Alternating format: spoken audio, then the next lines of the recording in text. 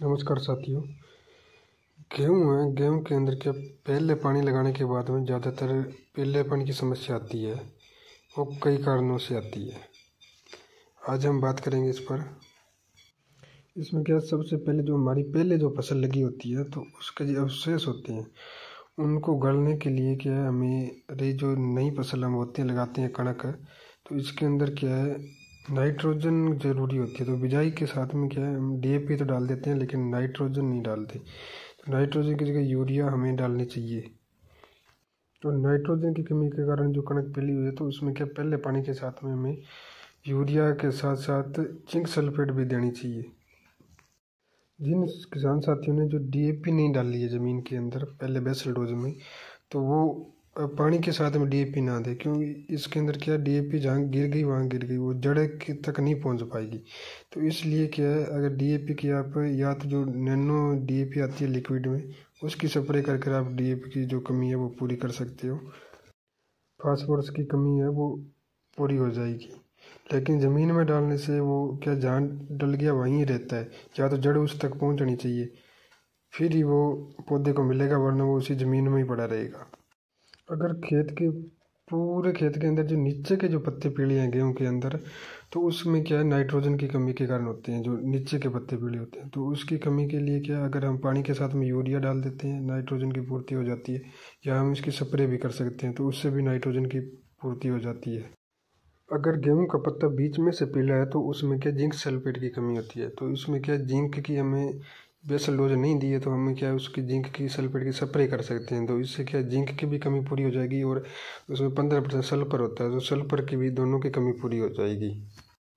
अगर गेहूँ के पत्ते भूरे रंग के पीले हो रहे हैं, भूरे हो रहे तो उसके अंदर क्या पोटास की कमी होती है?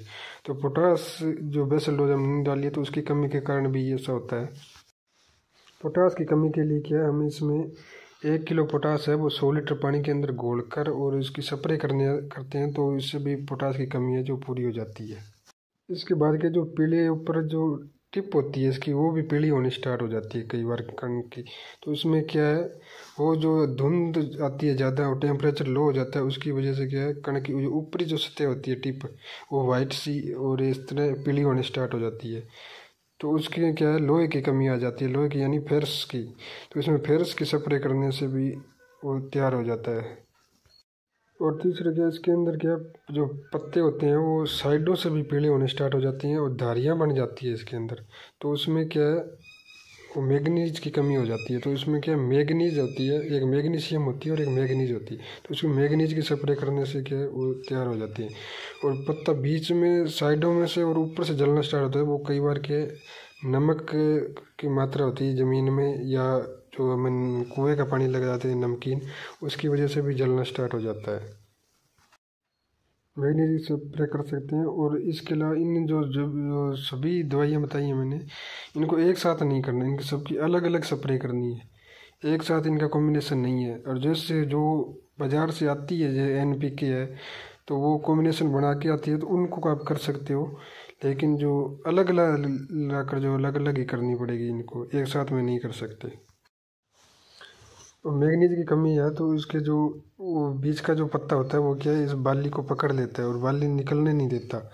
तो उसके लिए क्या, मैगनीज की सब, मैग्नीज सल्फेट की स्प्रे करनी चाहिए हमें। और इसके जो बाल निकल जाती है, इसके बाद में हमें यूरिया डीएपी किसी भी प्रकार की जो खाद है, वो नहीं डालनी चाहिए। अगर उसमें आपके फ़सल में कोई कमी दिखाई दे रही है तो आप उसकी स्प्रे कर सकते हो। अगर उसमें आप यूरिया या डीएपी डालोगे तो वो क्या, फ़सल कच्ची हो गई और गिरने के चांस बढ़ जाएँगे उसके। गिरेगी तो उत्पादन घटेगा ही घटेगा तो इसलिए क्या है, बाली, जब तक बाली निकलने स्टार्ट हो जाए, उसके बाद कोई भी डोज ना डालें, किसी भी प्रकार की। उसके बाद अगर आपको कमी दिखाई दे फ़सल में तो केवल स्प्रे ही करें।